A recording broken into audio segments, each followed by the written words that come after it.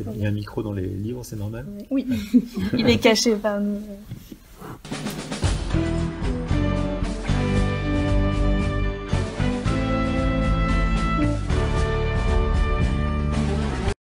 Hello and welcome on our new TV channel Sciences Po TVLH. Today is the rentrée solennelle on Sciences Po Le Havre campus and we are very pleased to meet our president, Mr. Frédéric Millon. Good morning, Mr. Mion. Good morning. Thank you for accepting our invitation. Thank you for having me. It's a great joy to see you. It's a great joy. So today is the rentrée solennelle on Havre campus and we wanted to ask you what is your first memory of the rentrée solennelle as a student in Sciences Po? The sad thing is that I believe with that when I, when I was a student, there was no such thing as a rentrée solennelle, and so I have no recollection of, of you know an event that would have looked like the, the current rentrée solennelle. And I think it's one of the many improvements of life at Sciences Po over time that we now have those events that mark the start of the school year. Okay. Uh, what surprises you the most about your campus? Because it is now a campus of almost 12 years. Mhm. How did you see it evolve those past few years? What have I seen on the Le Havre campus? I've seen ever more talent, ever more diversity, ever more enthusiasm, and an ever better dancing team. so I think there's improvement here as well. We can only agree. Yeah. So you were already in Le Havre uh, for the opening ceremony of Minicrit last Mhm. May. We had a little question for you. If you had to compete in Minicrit, which category would you choose and why? Ha, that's a tough one. Um, well, I guess no sport. That's for Mm. sure. No sport whatsoever. Mm, if I had to compete, it would probably have been in theater because that's one thing I did um, as a younger man. Sadly, I had to stop afterwards because there was no time for it. But theater would have been a possibility. But I, I think my involvement in the mini crit would have been probably focused on you know being a, a good supporter.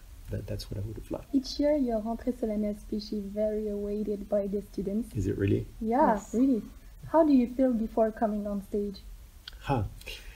Um, I feel uh, focused. Uh, I'm usually very cheerful because I love those events and I love having the uh, opportunity to uh, to meet the students for the first time. Um, and I'm always also slightly emotional because I think there's something important in the air in those uh, in those moments. So it's a mixture of all three things.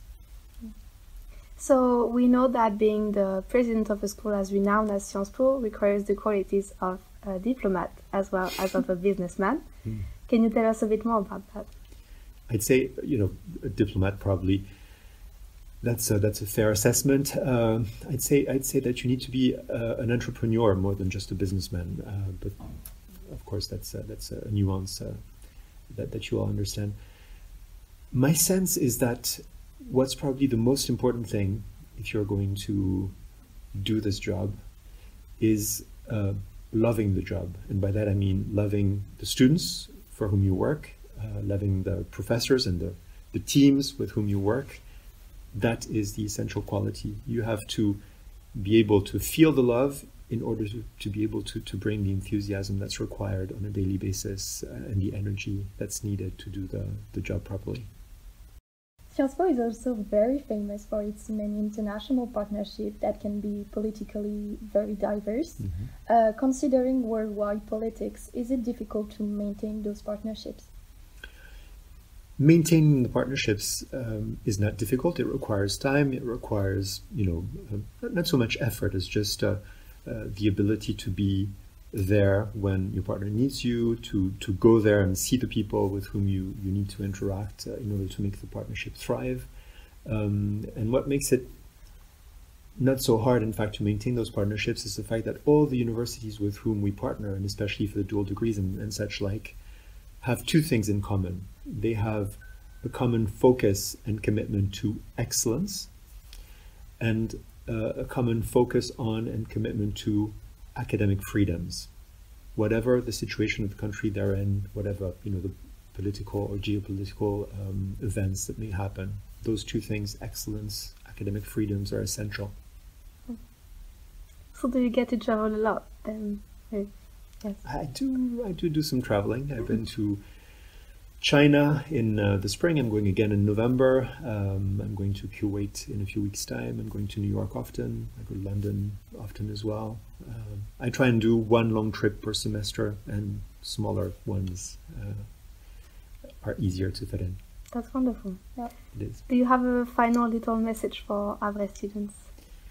Do I have a message for them? Well, I, I guess I do. I guess I do. Um, I'd like to say, say to them that uh, I'm slightly envious of them as the school year is about to start because of all the opportunities that are out there for them to seize, all the new people they're going to be meeting. So, my piece of advice to them is make the most of it. Thank you so much. Thank you very much. Thank you. Yes. If you'd Yes. like to uh, see more the Havre campus and life at Sciences Po,